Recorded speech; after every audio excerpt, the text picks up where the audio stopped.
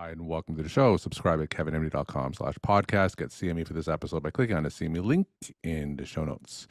Today, we welcome Daniela Valenti. She's a psychiatrist, and we're going to talk about her book, Sentinel 10, The Edge of Destiny. Daniela, welcome to the show. Thank you so much for having me. Very excited to be here. So we'll talk about your book in a little bit. Just first off, briefly share your story and journey. So I went to McGill for my medical school, McGill in Montreal, Canada. So I am a Canadian psychiatrist practicing uh, right now in my office here in Ontario. So after McGill, I did my residency at the Queen's University in Kingston, Ontario. And so I graduated in 2015. So I've been practicing since 2015, mostly doing inpatient psychiatry, in fact. So yeah, that's that's uh, one of my passions. So the other part, of course, the the writing endeavors. I started to write early on, like as most writers, like in my childhood. I never really had, obviously, you know, it's just kind of fun practice. I never had any kind of story at all until until I hit on this idea of well, Sentinel 10, basically this paranormal fiction. The very first idea for it came in my early 20s, in fact to be honest, a little bit inspired, like I was whatever, 21 or something, a little bit inspired by the TV series Buffy the Vampire Slayer. Mm-hmm. I'm always a bit embarrassed, but like, hey, it's it's fiction, whatever. I was 21. No vampires in my books though. Okay, it's very different. But in any case, so I still didn't have a story. I had this idea for some kind of framework to follow a young woman as she evolves in her life while having special powers. So that's the only connection there with the TV show. But the real writing started in 2017 when I attended the Forensic Psychiatry Conference in uh, Prague, in, mm-hmm. uh, in Prague, Czech Republic.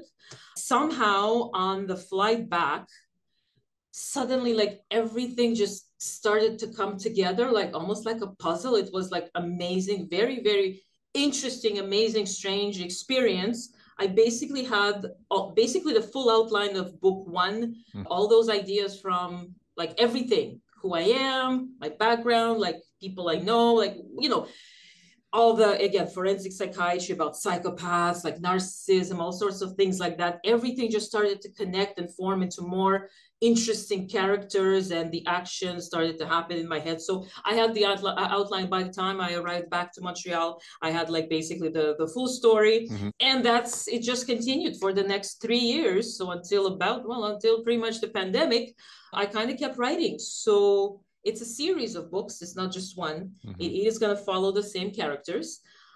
So you are a psychiatrist. So yes. did you have a background in in writing? What what made you make that jump from oh, doing psychiatry and into publishing a series of books?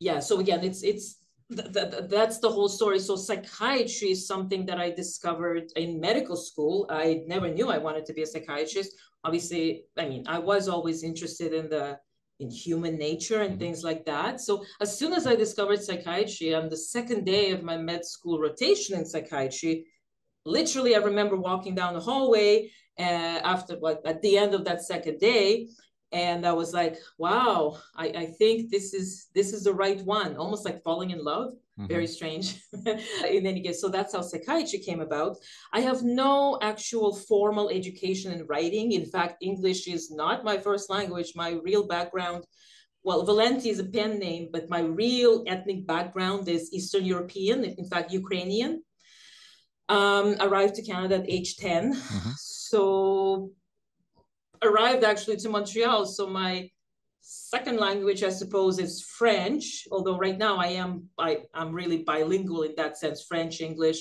you know, whatever, Ukrainian. So English is my third language. Obviously, at McGill, I studied uh, in English and subsequently as well. Mm-hmm. I tried to take, of course, I, I did take some writing classes, but literally that came later. The whole decision, there was no decision to write.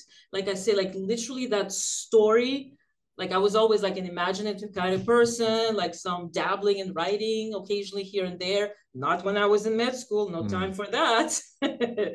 uh, not in residency either. So it had died down for quite a while, and then suddenly, like this, it just it just all came together after Prague, after that forensic psychiatry mm-hmm. conference, a fascinating conference, like really and truly, you discover like what psychopathy really is. That's horrible, obviously, but uh, very interesting because they're uh, well, they're sort of they're they're missing a they're missing some normal human functions in their brain and there are it shows on, on scans too so it's, it's almost like a biological issue uh, in any case it's uh, it's quite fascinating and it somehow it all interconnected with my long ago kind of idea about those paranormal powers and all sorts of villains or you know the kind of story about a young woman who uh, has paranormal powers mm. but also is a doctor and she goes through the next 10 years of her life having all sorts of interesting adventures, trying to balance work, friends, love, whatever, villains, paranormal creatures, mm. stuff like that. So, your book is Sentinel 10 The Edge of Destiny. So, I'm interested in hearing how your background as a psychiatrist, how does that inform your characters? Do you use a lot of your psychiatric background and your background in medicine in your stories? Right. I certainly use it because, frankly, psychiatrist at this point, it's uh, it's part of who I am. I've some of the reviews, and I've been told that my characters are, including like like really good reviews from like Kirkus reviews, a really well recognized review source uh, for writers. But anyway, in any case, I have multifaceted characters they're all flawed but that that's a very good thing because they're not cookie cut mm-hmm. or anything like they're not stereotypical at all certainly i do take some inspiration from well really my knowledge of let's say human nature mm. not only as a psychiatrist but definitely as a psychiatrist as well as a psychiatrist we encounter a, a large variety of all sorts of people which are usually struggling with a lot of problems, even sometimes aside from the mental illness, personality problems. Uh, we certainly see narcissism, for instance, occasionally, technically, psychopaths, you know, antisocial personality disorder. In any case, so yes, there, there's inspiration there. Sometimes I even I even presented like a like a supernatural version of like a bipolar illness, let's say, mm. having a manic episode, but like it's it's because of a well, it's because of a like a paranormal thing that happens to the person their powers go out of control so they go on this rampage and and there there's definitely like parallels with having a manic episode and then they're like oh my god what was that? I mean what happened to me? It's it's horrible. So yeah there's definitely inspiration there and of course still me as a as a person also uh, uh all sorts of people i've encountered in life outside, outside of psychiatry as well including some colleagues sometimes like whatnot so so do these colleagues know that they're inspiration no, for no, some no, characters in the book? Well camouflage. It, It's not it's not current colleagues. It's like from way back, med school, whatever. so tell us in terms of the response to your book i guess from the medical side what do your colleagues know that that you're writing these mm, series mm. no i mean i, I don't tell well in currently i started to work like I, I, changed places i was working for six and a half years at a different hospital a community hospital right now i'm in an academic hospital so but after about i don't know eventually i basically told my colleagues eventually eventually even the nurses because again inpatient unit eventually I, I, told them at first like i was keeping it secret because mm-hmm. again I am, by the way, I, am certain that I am the only North American psychiatrist writing paranormal fiction. I, th- there's no way there's another one. so it's pretty unusual, or at least I feel it's unusual. So I'm, I'm not sure how people would react to that. I certainly want to remain, you know, professional in their mind.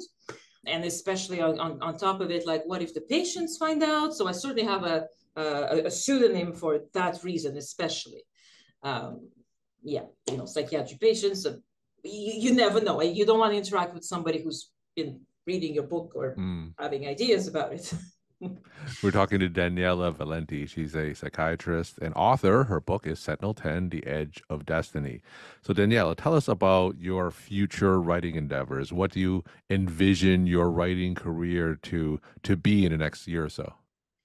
Well, I, I mean, I'm still working on the whole series. I'm actually, it's interesting because it's almost like I write sometimes it's well, okay. The first book I wrote it all together as a like a full story, like in in in quick in, in succession, basically. Since then, it's been nowadays I'm working on book four is being edited by my mm-hmm. editor. Book five, I'm finishing it. Basically, I work on scenes like chapters, let's say. So it's almost like a movie. Apparently, movies are being filmed in scenes which are not necessarily consecutive. Well, frankly, that's how it's working for me now. I know the scenes that are missing in each in in in the remaining books. The books are actually written, but they're missing some pieces, some scenes, which I am still working on. And my plan is to well carry on and have the all 10 books out in the next perhaps two years because they're mostly done. So that's I, I don't necessarily think I'm gonna be writing maybe other books, but you never know. You never know. It, it might hit me again. and my final question, Daniela, tell us some of your take-home messages I like to leave with the Kevin MD audience. So I, would like to tell uh, a little bit about again. I mentioned what the story is mm-hmm. about, but basically it's about an anesthesia resident. Her name is Amanda Griffith, and in Boston, in mm-hmm. Boston, in the U.S.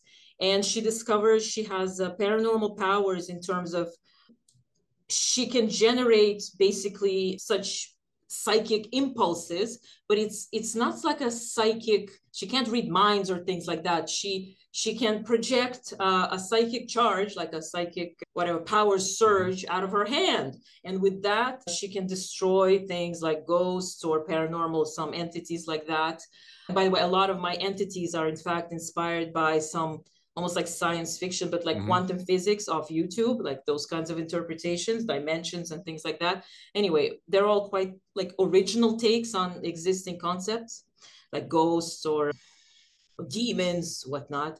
And additionally, those kinds of charges, pulses, pulse energy can also hurt quite a bit if you're, you know, a psychopath, even if you're not a mm-hmm. supernatural mm-hmm. one. It can hurt people. It, it give you a horrible more than a headache, he'll knock you out. So she can fight basically all sorts of criminals. There's secret societies. There are moral dilemmas in there. I mean, this is not uh, young adult. This is adult. Mm-hmm. Uh, some of the books are more romance. Others are more like urban fantasy. So it's, but it's all about her and the kind of, well, she has a best friend, how she finds love, the kind of people she interacts with. There are some like what, but at work, how it can affect her work, because eventually she'll have to quit mm-hmm. anesthesia because it's it's it's too much. She can't do both. She'll go to family medicine. In any case, so it's all following Amanda and how her powers are. Well, if she'll have the powers for the next 10 years of her life. So from age 20, 25 until uh, 35, and how her life stages also evolve in conjunction with the powers, having that kind of destiny. The book is Sentinel 10, The Edge of Destiny. Daniela, thank you so much for sharing your perspective and insight. Thanks again for coming on the show. Thank you so much.